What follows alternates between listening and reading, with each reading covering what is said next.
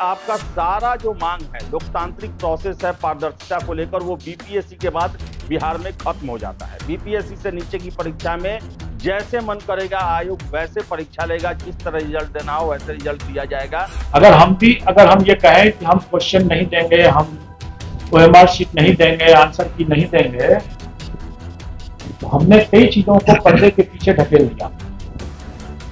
और अगर हम पर्दे के पीछे ढकेल देते हैं तो पर्दे के पीछे क्या हो रहा है। तीन प्रमुख आयोग हैं। दरोगा की भर्ती करने वाला बीपीएसएससी सिपाहियों की भर्ती करने वाला केंद्रीय चयन परिषद सिपाही भर्ती और कर्मचारियों की भर्ती करने वाला बिहार कर्मचारी चयन। आयोग इनके द्वारा देखा जाए तो पारदर्शिता के क्षेत्र में कुछ भी ऐसा नहीं किया जाता है जिससे छात्रों को विश्वास हो कि भर्ती प्रक्रिया जो है वो ईमानदारी से चल रही है। जिसमें कि ट्रांसपेरेंसी बहुत ही क्रिटिकल एलिमेंट है। और वो ट्रांसपेरेंसी जितना अधिक से अधिक रहेगा, उतना आपका system full proof deep proof रहेगा। अगर जितना आप ट्रांसपेरेंसी कम रखेंगे, उतना आप भी हमेशा शक के दायरे में रहेंगे। पारदर्शिता के नाम पर कुछ भी नहीं, कुछ भी नहीं है। आपके पास कोई भी प्रूफ कोई भी चीज़ आपके एडमिट कार्ड के अलावा आयोग के द्वारा नहीं दिया जाता है।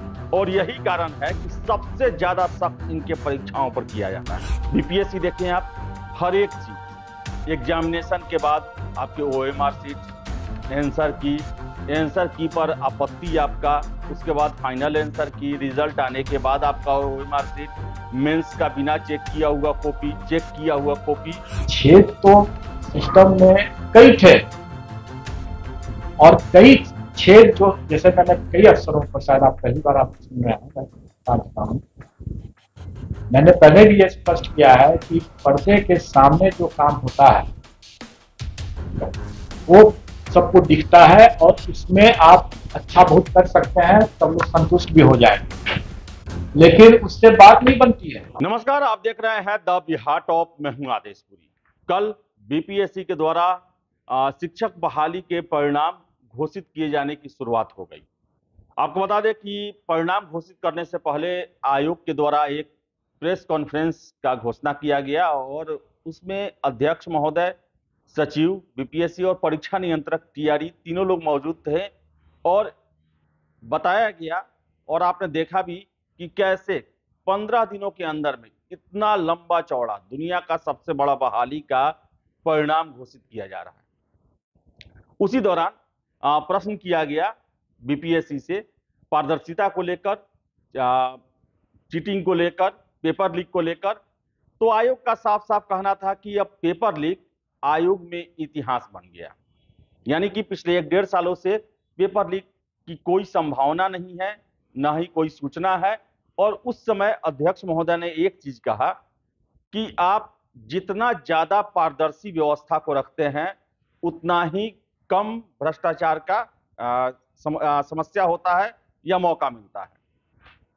बीपीएससी देखें आप हर एक चीज़ एग्जामिनेशन के बाद आपके O M R sheet answer key answer key पर आपत्ति आपका उसके बाद फाइनल आंसर की रिज़ल्ट आने के बाद आपका O M R sheet mains का बिना चेक किया हुआ कॉपी चेक किया हुआ कॉपी ए टू जेड चीज़ इवन की आपको कोई समस्या है तो उसके लिए शिकायत निवारण कोष जो है, उसका भी गठन किया गया, जहाँ पर आप अपने शिकायतों को बता सकते हैं। लेकिन अगर हम यही देखें, फ़िलहाल देखें तो बिहार में 17 दिसंबर को ही दरोगा का परीक्षा होगा। परीक्षा के बाद क्वेश्चन पेपर का फ़ोटो वायरल हुआ, जिसको लेकर छात्र ये आरोप लगाते रहे कि जब परीक्षा केंद्र पर मोबाइल ले जाना अलाउ नहीं होता है क्वेश्चन पेपर मिलता नहीं है, ऐसे में फ़ोटो क्यों आ गया? और हमेशा से, लंबे समय से छात्रों की मांग रही है कि बिहार के जो अन्य आयोग हैं, तीन प्रमुख आयोग हैं, दरोगा की भर्ती करने वाला बीपीएसएससी सिपाहियों की भर्ती करने वाला केंद्रीय चयन परिषद, सिपाही भर्ती, और कर्मचारियों की भर्ती करने वाला बिहार कर्मचारी चयन आयोग। इनके द्वारा देखा जाए तो पारदर्शिता के क्षेत्र में कुछ भी ऐसा नहीं किया जाता है जिससे छात्रों को विश्वास हो कि भर्ती प्रक्रिया जो है वो ईमानदारी से चल रही है। पारदर्शिता के नाम पर कुछ भी नहीं है। कुछ भी नहीं है। आपके पास कोई भी प्रूफ कोई भी चीज़ आपके एडमिट कार्ड के अलावा आयोग के द्वारा नहीं दिया जाता है। और यही कारण है कि सबसे ज़्यादा सख्त इनके परीक्षाओं पर किया जाता है। दरोगा की परीक्षा को हम देख लें।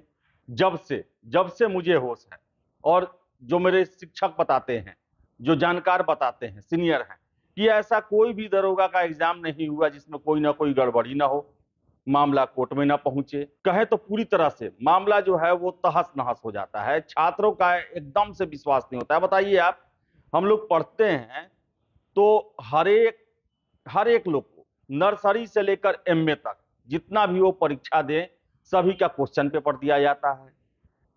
उसके बाद जो है उसका आंसर की बताया जाता है शिक्षकों के द्वारा। अगर आप जाएँ पूछे तो कि इसका क्या उत्तर होना चाहिए। आ, इसके अलावा आप देश का सबसे बड़ा परीक्षा देखिए यूपीएससी उनके द्वारा भी सारा पारदर्शिता का पालन किया जाता है।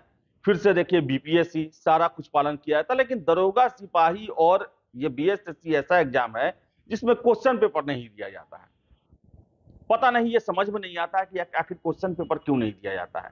क्वेश्चन पेपर आप नहीं देते हैं स्टूडेंट कॉपी जो कार्बन कॉपी आप रंगवाते हैं, क्यों रंगवाते हैं फिर आप? इसका मतलब कि आप जो है, कानूनी रूप से अपना पक्ष मज़बूत करते हैं कि अगर मामला कोर्ट में जाएगा तो हम बोलेंगे कि हाँ इनको तो दिया गया है प्रूफ है ये। लेकिन छात्रों को मिलता नहीं है वो। एंसर की आप नहीं जारी करते हैं। प्राप्तांक आप नहीं बताते हैं।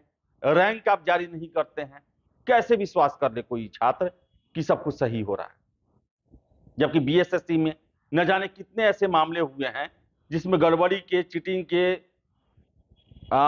स्ट्रॉन्ग रूम में गड़बड़ी के एविडेंस मिले हुए हैं।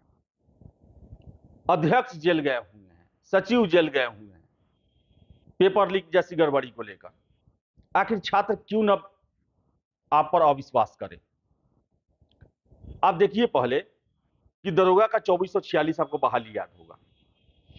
इसी तरह छात्र जो है कई बार, न जाने कई बार, पटना की सड़कों पर धरना प्रदर्शन किए, लाठी चला, वाटर कैनन मशीन चला, फिर से आपको बताएँ, गिरफ्तारियाँ हुई कई कई छात्रों की।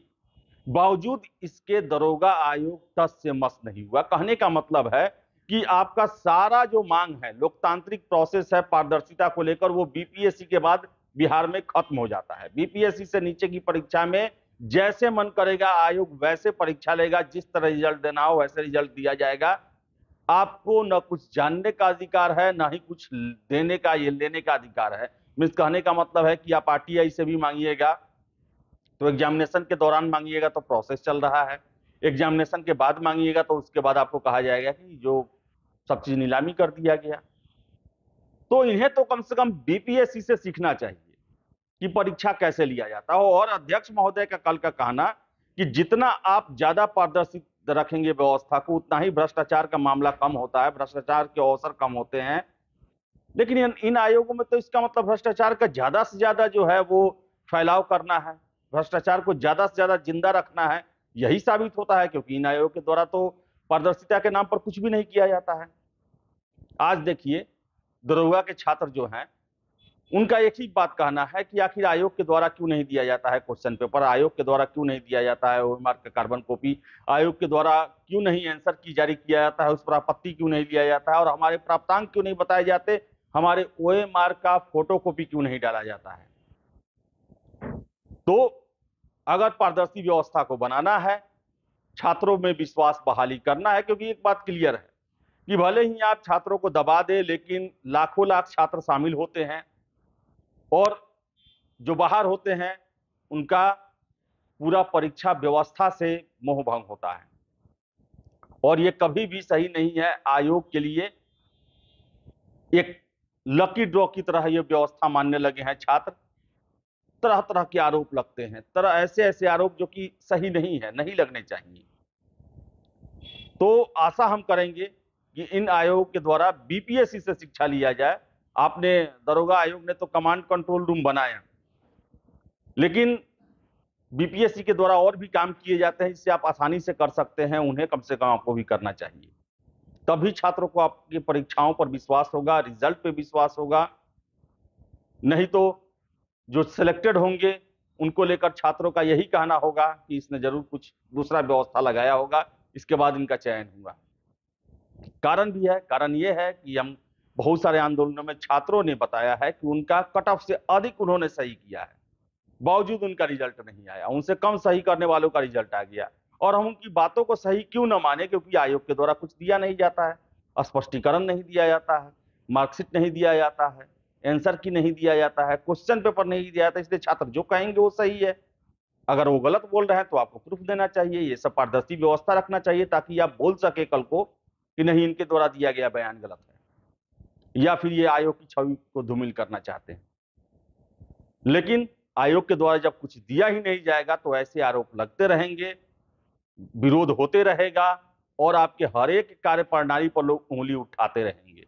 कोई मानने को तैयार नहीं है। अभी के समय में बता दूँ मैं आपको कि दरोगा में पेपर लीक नहीं हुआ है।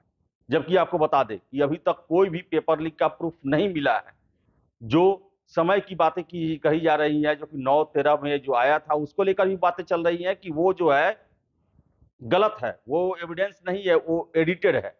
ऐसी बातें निकल के आ रही हैं। तो ऐसे में, लेकिन सारा कोई के जवान पर यही है कि दरोगा परीक्षा में पेपर लीक हुआ है, क्योंकि विश्वास नहीं है किसी को। विश्वास होता ही नहीं है, क्योंकि उनके द्वारा ऐसी कार्य प्रणालियाँ अपनाई जाती हैं, जिनसे उनके हर एक काम को छात्र शक की निगाह से देखते हैं। तो गुजारिश है आयोग से छात्र हित में। छात्र हित में नहीं तो कम से कम आयोग हित में ही। कि आयोग की गरिमा, विश्वसनीयता बनी रहे, छात्र उन पर विश्वास करे, आम लोग भी आप पर विश्वास करे, इसके लिए आप व्यवस्था को पारदर्शी बनाएँ। वरना एक दिन ऐसा आएगा कि आप लाख कुछ कहते रहेंगे, अपना हो सकता है ऐसा सिचुएशन आए कि आयोग लोग को विश्वास में लेना चाहे, लोग विश्वास ही आप पर ना करें। तो गुजारिश है, व्यवस्थाओं को बदला जाए बीपीएस इस चीज़ सिखा जाए कि कैसे परीक्षा लिया जाता है। तो फ़िलहाल इस वीडियो में इतना ही। वीडियो पसंद है लाइक शेयर करें हमारे चैनल। द बिहार टॉप को सब्सक्राइब ज़रूर कर लें। धन्यवाद।